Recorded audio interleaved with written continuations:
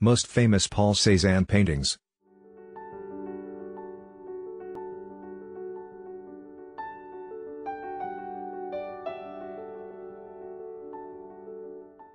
Paul Cézanne was a French artist and post-impressionist painter. His exploration of geometric simplification and optical phenomena inspired many painters to experiment with simplifications and complex multiple views. These are some of his famous paintings.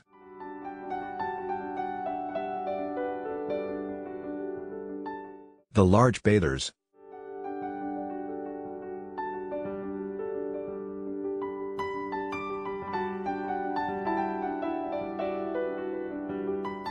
The Bathers represents a manifesto for all those who wanted to represent a non-commercial and counter-trend art.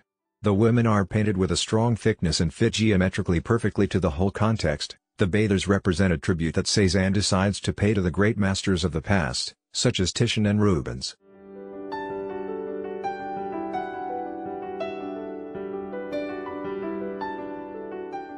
The strong brightness that the whole painting is due to the color that was placed several times on the canvas, which allowed Cézanne to obtain the necessary light to achieve the final effect, the strong black lines that delimit the contours of the Cézanne bathers, making them look like real statues, rather than painted.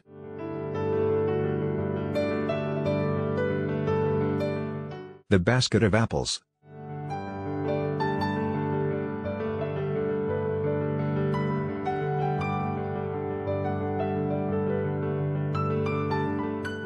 In the central part of the painting, there is an inclined bottle and on its left there is a basket that is overturned in the opposite direction concerning the inclination of the bottle, giving a feeling of disorientation.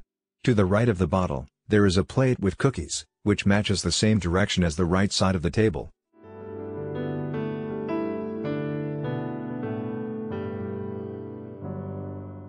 The card players,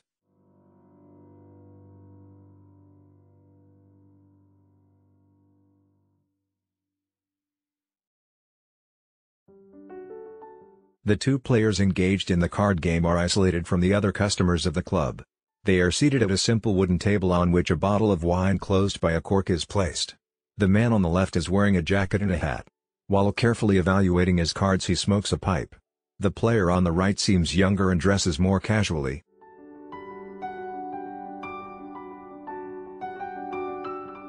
The boy in a red vest,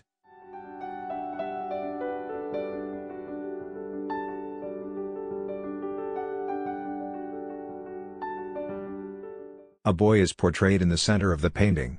He is seated at a table facing right. His torso is curved and wearily supported by his left arm. The boy's head rests on the hand that supports his cheek. He wears simple clothes and a white shirt with a red fabric waistcoat on the front and ochre color on the back.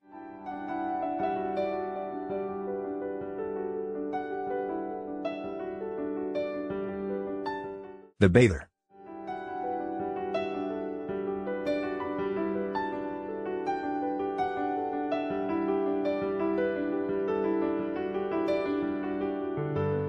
The painting depicts a bather wearing only a small white costume standing in the center of the canvas. He is of medium height with big feet. His face is bent towards the ground and his position is frontal. The land is devoid of vegetation and looks like a sandy beach. The sky occupies the upper half of the canvas while the lower one is reserved for the landscape.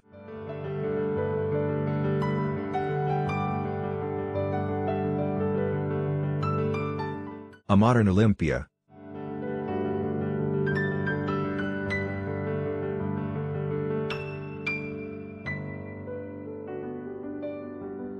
1873 and 1874, the artist used brighter colors and more dynamic design.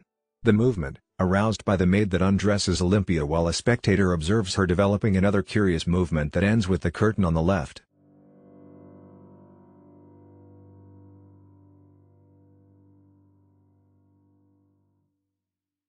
Chateau Noir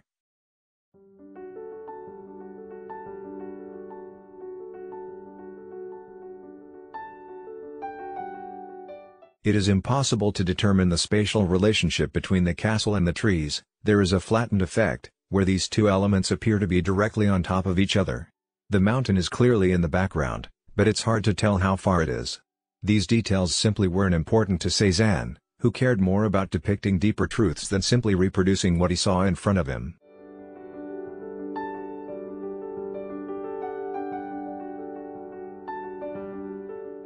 Mont Sainte-Victoire seen from Bellevue.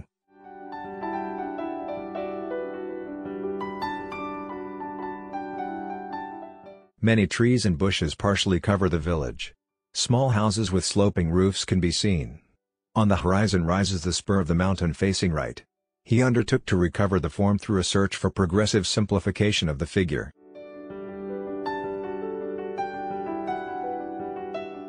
Curtain, jug, and fruit.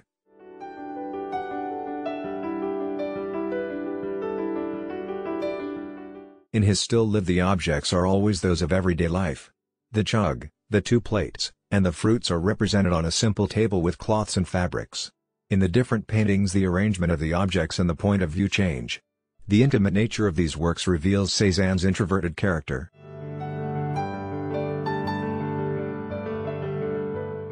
Pyramid of Skulls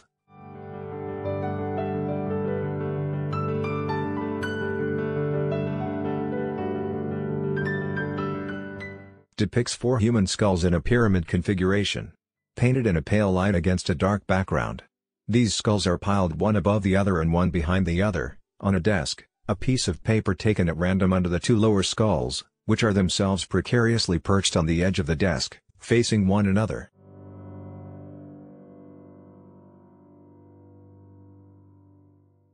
Maincy Bridge,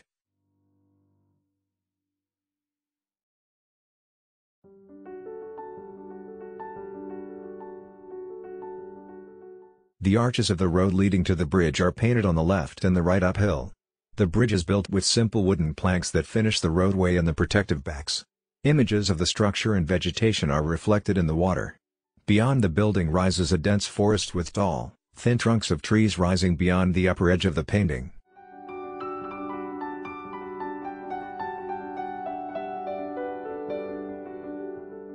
Turning road at Montgeroult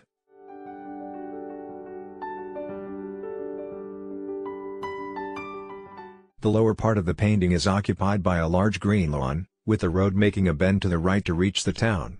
Behind a low wall, some trees protrude. Above, you can see the small houses of the village and among them some trees. The sky takes up a small portion of the painting above and is cloudless.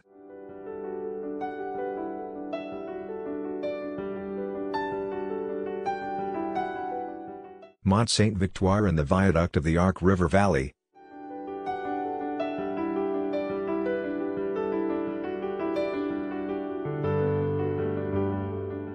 The painting seems to be painted in a hurry, with a dense weave of vertical, furious, broken, almost feverish brushstrokes. You have the impression of looking at an out-of-focus image, a flow of color sensations, an abstract painting of vibrant forest, an undecipherable upholstery.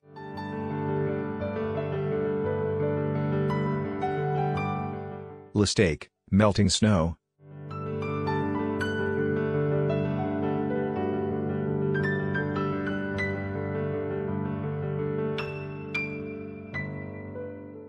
The color sustains the violence of the hurricane represented in the painting. A blackish tint permeates the landscape and even snow looks like a partner of black. Painted in stark contrast, with an overwhelming, almost monotonous fury that captures the essence of a changing scene to also express a gloomy and desperate state of mind, the image has some subtle tones, the variable whites of the snow and the many grays, including the warm tones of the Middle-earth nestled between the red roofs.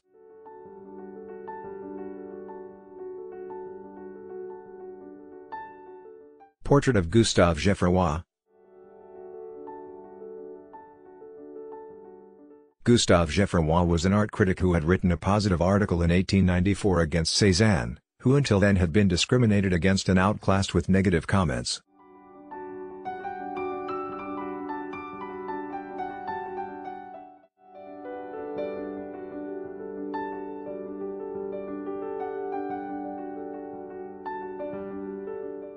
The house with the cracked walls?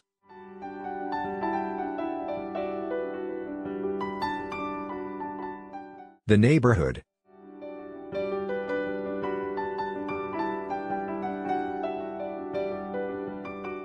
The abduction.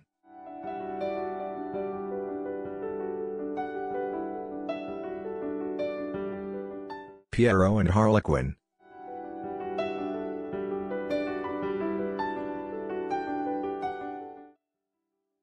Thanks for watching and subscribe to support the channel.